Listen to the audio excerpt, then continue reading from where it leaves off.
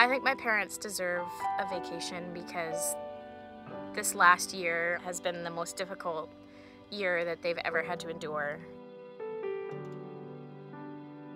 It's time for them to take some time for themselves. They picked an awesome destination for my parents. It's really making a dream of theirs come true.